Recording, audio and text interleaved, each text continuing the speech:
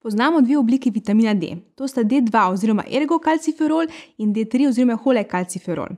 D2 največkrat najdemo v rastlinskih virih, bolj znan pa je D3, ki ga najdemo v ribah, jajcih, jetrih, maslu in nekaterih vrstah lišajev.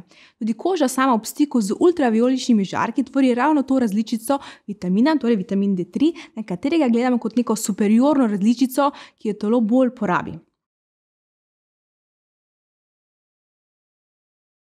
Osnovna funkcija vitamina D3 v telesu je, da združuje optimalno koncentracijo kalcija in fosforja v telesnih tekočinah, tudi v krvi, in s tem podpira metabolne procese v celicah. Evropska agencija za varnost hrane EFSA potrjuje pomembnost tega sončnega vitamina. Vitamin D naj bi po navedbah in uradnih potrebnih dokumentov prispeval k normalni absorpciji kalcija in fosforja, k normalni ravni kalcija v krvi, k ohranjanju zdravih kosti, k delovanju mišic, k ohranjanju zdravih zob, k delovanju imunskega sistema, ima pa tudi vlogo pri delitvi celic.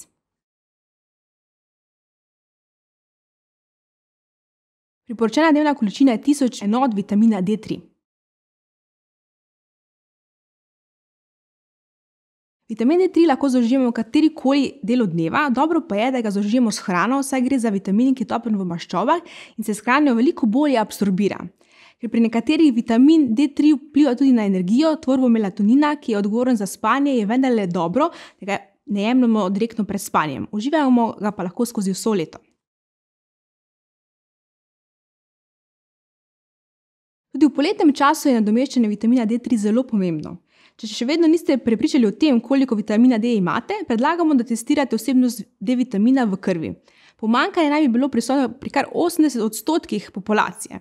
Večina ljudi upravlja delo v notranjih prostorih, poleg tega pa se danes zavedamo, da je sončenje bolj škodljivo kot zdravo. Večino časa v našem delu Evrope tudi nismo izpostavljeni dovolj velikim količinam sončne svetlobe. Tista dva meseca poletja, ki imamo na voljo, pa sta za celotno zadostitev potreb po vitaminu D premalo.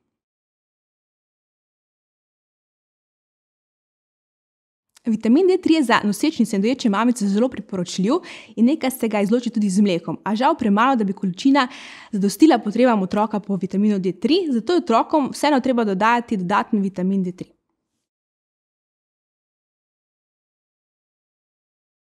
Vitamin D3 naj bi po navedbah uradnih in potrjenih dokumentov prispeval k ohranjanju zdravih zob in tudi kosti. Zato je vsekakor priporočljivo za jemanje v primeru slabih in lomljivih zob.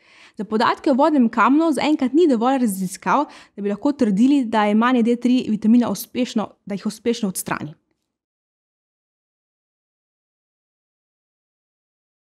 Dovolj vitamina D3 deluje tudi proti utrujenosti in depresivnim stanjem.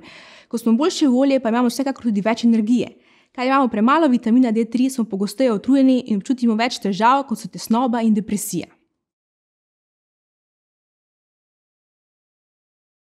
Po raziskavah naj bi pomankanje trpelo tudi do 80 odstotkov prebivalcev, zato je priporočilo prav za vse. Še posebej pa se priporoča tistim, ki delajo v notranjih prostorih, tistim s temnejšo poltjo, tudi tistim zelo svetlo, ki ne smejo biti na soncu, pa tudi starejšim osebam, saj njihova koža ne sintetizira več dovolj vitamina D3. Priporočljiv je tudi za nosečnice, doječe mamice in za vse, ki imajo oslaben imunski sistem. Obstaja naravna oblika vitamina D3, ki je v rastlinskih virih pravzaprav redek. Gre za vitamin D3, ki ga najdemo v jelenovem lišaju. V primeru lišaja gre za zelo poseben organizem, ki je nekakšna kombinacija glive in alge, ki živita v simbiozi in tvori ta lišaj. Lišaj je visoko odporen proti razmeram, ki vladajo okolju, kjer raste. Vsebuje pomembna hranila, med drugim tudi vitamin D3. Takšni, naprimer, malinci in vitamin D3.